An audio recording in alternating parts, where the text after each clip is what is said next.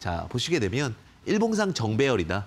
근데 일봉만 보면 좀 답답하고 지루할 수 있잖아요. 그죠? 그래서 30분봉 대량 거래 캔들이 발생을 하고 그다음에 지지대 확인 후에 지지대 고점 분할 매수라는 종목을 우리는 30분봉 매매법이라 부른다 이렇게 말씀드릴 수 있을 것 같고요.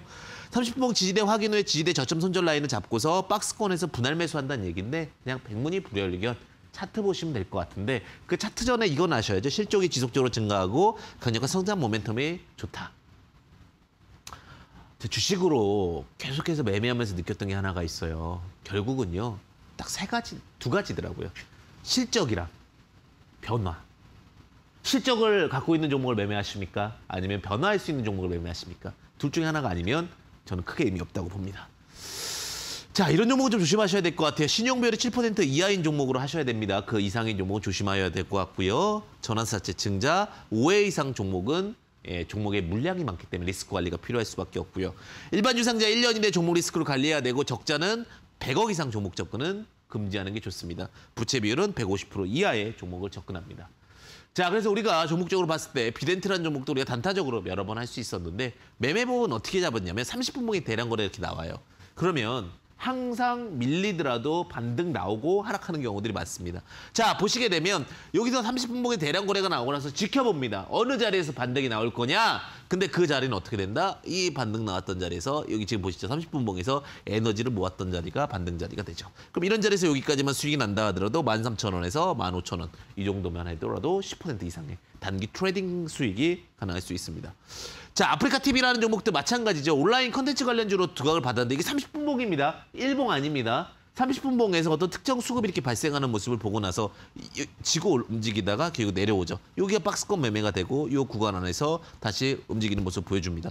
7만 5천에서 8만 2,500원이면 7,500원, 약 10% 정도 상승 흐름이 나올 수가 있죠. 7에서 10% 정도 수익이 발생하고 나서 밑으로 빠지고 올라오고 밑으로 빠지고 올라오면서 항상 30분 봉에서 대량 거래 투자 자리 그다음에 거기서 분할 매수할 수 있는 로직 포지션을 예, 잡고 가시면 예, 좋으실 것 같습니다. 그래서 아 매매라는 것이 조금은 단순한 로직일 수도 있겠구나라고 보시면 좋으실 것 같습니다. 코오롱인더 같은 경우도 사실은 이 코오롱인더 같은 경우는 내가 만약에 어떻게 매매해야 될 것인가 내가 어느 자리에서 매매해야 될까 탄소 나노튜브 오케이 그 다음에 뭐 타이어 튜브 부족 현상까지 오케이가 나왔어요. 그러면 시장에서 어느 섹터의 흐름이 나올 수 있을 것인가를 보게 되면 수급이 나오는 자리가 중요하죠. 여기 수급이 나왔잖아요. 그죠? 수급이 나오고 나서 주가가 이렇게 하방하다가 5만 7천 원에서 8천 원, 요 자리가 예, 주가 부양 자리가 되는 거죠.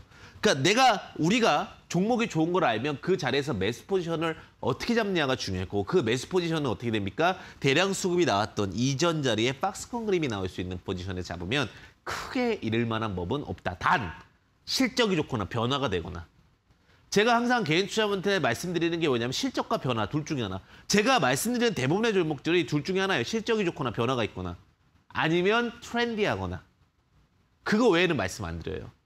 그러니까 황주명하게 되면 실적, 변화 플러스 트렌디예요. 트렌드라고 보시면 되겠죠. 트렌드예요. 그거 외에는 제가 관심이 없어요. 디지털 대성, 실적, 변화, 트렌드. 예를 들면 은 뭐 바이넥스 실적 변화 트렌드 다 포함되어 있잖아요. 그 종목이 나중에 어떤 특수 상황으로 밀릴 수도 있고 하락할 수도 있어요. 근데 그 종목이 다시 원점으로 돌아가고 갈 수밖에 없는 이유는 실적 변화 트렌드 중에 하나를 잡았기 때문입니다. 그 포지션을 굉장히 중시 여겨야 돼요. 미트온. 미트온 같은 경우도 마찬가지죠. 자, 대량 수급이 들어왔어요. 수급이 들어오고 내려오는 자리, 이런 자리들, 지지대 자리들. 굉장히 중요한 게 뭐냐면, 어, 죄송합니다. 제가 말을 빨리 하려다가 제가 좀 놓쳤네요. 자, 보시게 되면 실적 변화 트렌드에서 이제 박스권으로 잡을까? 지지대는 면입니다. 면이 뭐냐? 대량 수급이 나오고 나서 개인 투자자분들 여기 오면 매수해서 손절해야 되니까 손절이 맨날 나가요. 손절 세 번 하면 어마어마한 손실이 납니다. 그렇기 때문에 손절을 최소화하면 수익을 극대화하는 건 면이라는 개념을 이해해야 돼요.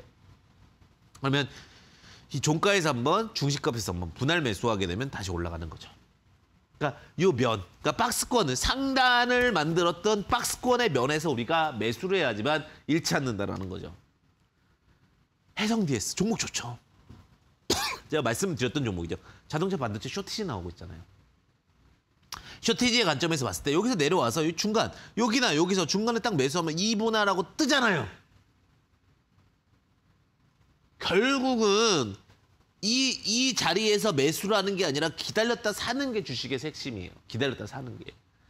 매일 살 필요도 없어요, 사실은. 매일 주식을 할 필요도 없어요. 제가 볼 때는. 이 자리들이 올 때만 매수하시는 전략이 유효할 것 같습니다.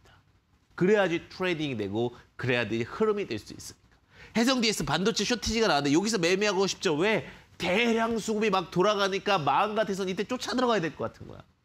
이때 막 가서 부딪혀야 될 것 같은 거예요.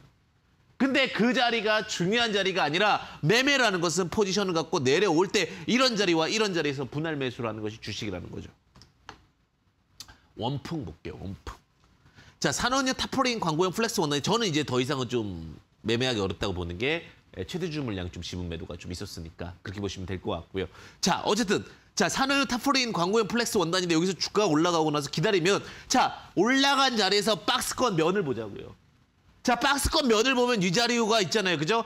자, 여기서 만약에 예를 들면 70% 샀어요. 중심에 30% 산다 치면 70%만 사죠. 30%는 어떡합니까? 보내주자고요. 내가 천만 원 있으면 700만 원 매수하고 300만 원은 현금 들고 있는 거예요. 이 종목은. 700만 원 갖고 트레이딩해서 장대 항목 나오면 매도하시면 되죠. 두 번째 내려오는데 지금은 조금 이제는 좀 그렇지만 이러한 흐름들에 대한 부분을 보셔야 된다.